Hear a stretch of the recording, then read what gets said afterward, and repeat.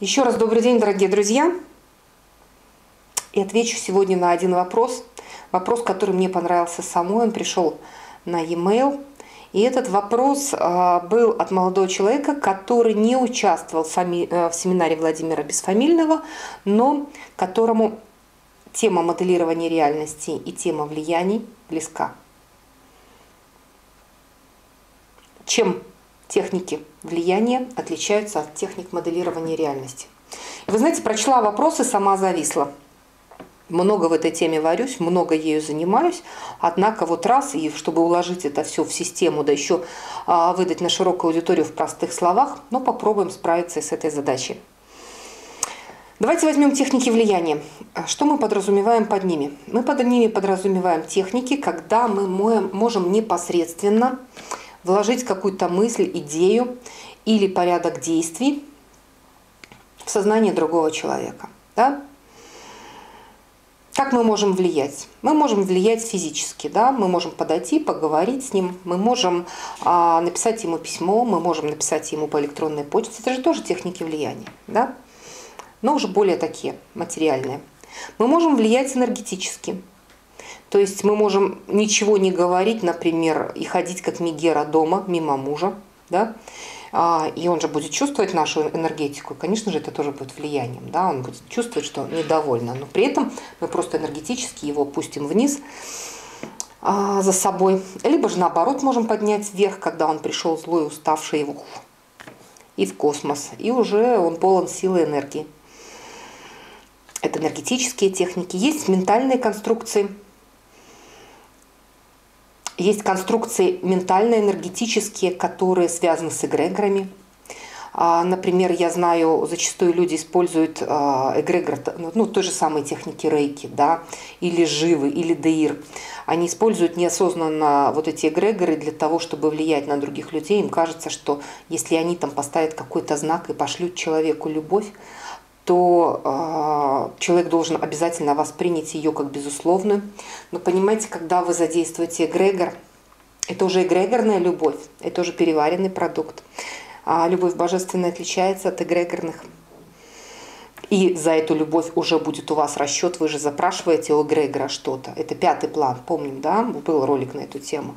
И значит, вы за это будете чем-то рассчитываться, каким-то своим ресурсом.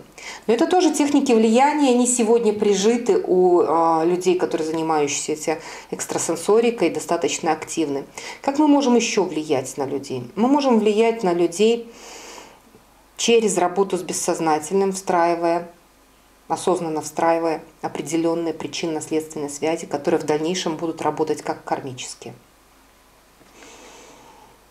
Но с таким планом работает крайне мало количество, количество людей ввиду ограниченности доступа к этим техникам.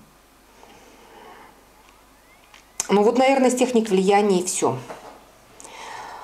А, что касается моделирования, что у нас с моделированием? А с моделированием у нас Интересная тема получается. Моделирование у нас-то работает на уровне сознания. На уровне сознания мы а, формируем некий образ, запрос. Мы опускаем его вовнутрь, в область сердца. Мы знаем, чего мы хотим, мы это точно выбрали. Заметили? Вот я говорю, и я меняется на мы. Когда мы говорим о влияниях, то я влияю. Или мы друг на друга. А когда мы говорим о моделировании, мы говорим мы. Мы влияем. А мы влияем подразумевается, что я с Богом. Вот в этом, наверное, коренное отличие. Потому что моделирование реальности осуществляется из состояний, когда Бог уже внутри тебя – когда ты признал, что ты вместе с ним, когда ты сотворец. Когда эго э, готово подвинуться и допустить э, в реальность то, что не оно правит миром. Когда ключевая программа «Мир служит нам» или «Вселенная служит нам» заменена на «Мы служим Богу». Еще раз, в огромном количестве экстрасенсорных техник ключевая программа «Мир служит нам». Мир должен нам обеспечить нас всем, что мы выбираем. Изобилием, деньгами, мужчинами, всякой фигней, что нам еще предстоит отфильтровать. Нам ли это надо? Зачастую мы выбираем какую-то вещь и хватаем ту, которую Бог вообще произвел для другого человека, потому что мы вообще не способны фильтровать. Так вот, моделирование начинается с того момента, когда мы уже фильтруем, что конкретно нам надо, и мы учитываем работу Бога по отношению к другим. И мы берем только то, что нам надо, мы не берем то, что предназначено не нам. И у нас уже идет прямая связь, мы сотворцы вот этой реальности. Да, мы играем с Богом вместе. Богу служит и это наше физическое тело, которое проявлено в этом мире. Оно способно чувствовать, оно способно ощущать, оно способно проживать, оно способно а, чувствовать подъемы энергии, экстатические состояния, состояния единения и так далее. И если мы возьмем и отбросим, просто отбросим это тело и скажем, что оно нам не надо по каким-то причинам, потому что мы столь духовны, то никакого моделирования уже не будет. Вы же понимаете, потому что это все комплекс. И видите, когда начинаешь рассматривать моделирование, то это уже определенное состояние субъективного восприятия. Если влиять мы можем немножко из других состояний, более низкочастотных, то э, моделировать мы можем из состояний субъективного восприятия, где я признала себя уже творцом и сотворцом. Да? Я взяла на себя ответственность и отдала ее на облако как программу. Да? И в то же самое время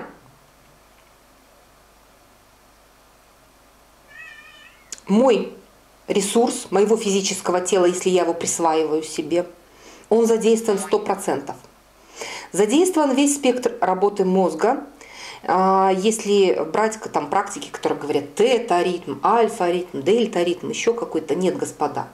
Когда вы находитесь в состояниях, когда вы способны быть сотворцами и моделировать, продуцировать реальность да, вместе с Богом, когда уже признали, что мы, да,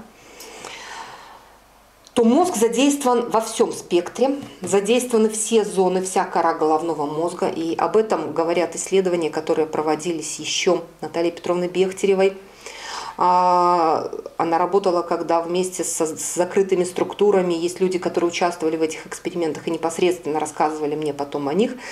А, разговор шел о том, что еще тогда было доподлинно известно, что работает весь головной мозг, вся кора головного мозга, и одновременно задействуются все диапазоны.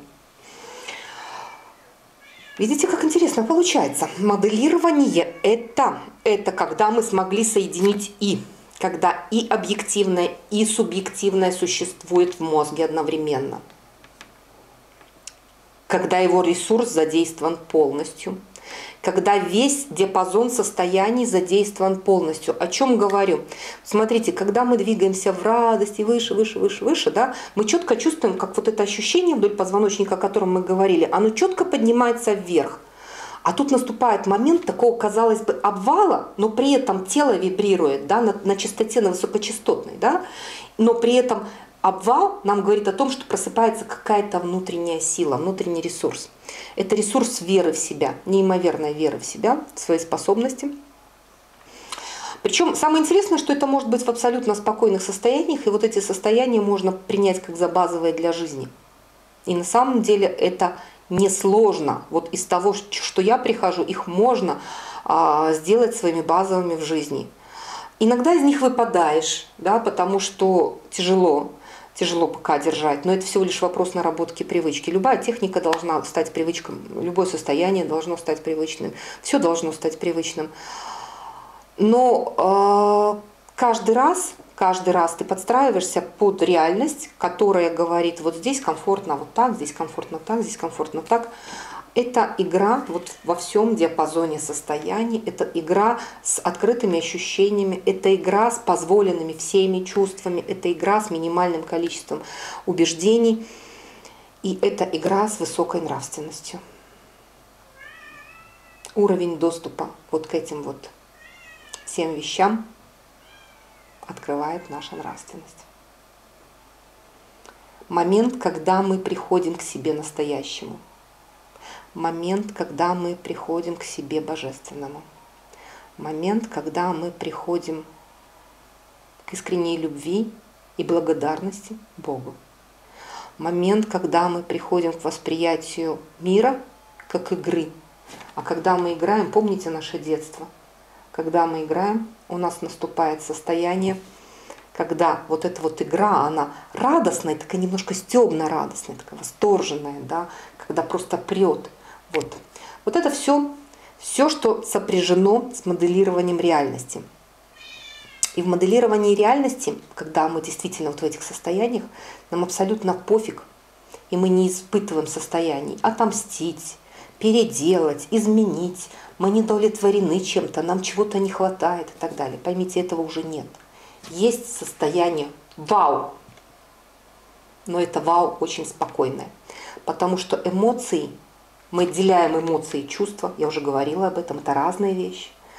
Вот когда эмоции отдельно, а чувства отдельно, да, эмоции не перешкаливают, потому что любая Синусоида будет срезана состоянием, как говорят суфи, серой линии, состоянием спокойного восприятия. Более того, восприятие еще переведено в наблюдение, вы одновременно и делаете, и наблюдаете. И таким образом моделирование реальности – это достаточно сложный симбиоз абсолютно разных техник, но эти техники получаются встроенными в виде привычек в вашу жизнь. Представляете объем работы? На самом деле его можно э, проделать очень быстро, если, если, если вы понимаете, что вам это надо. Не знаю, ответила ли я на ваш вопрос, но постаралась. С вами была я, Наталья Зайцева. До новых встреч, друзья.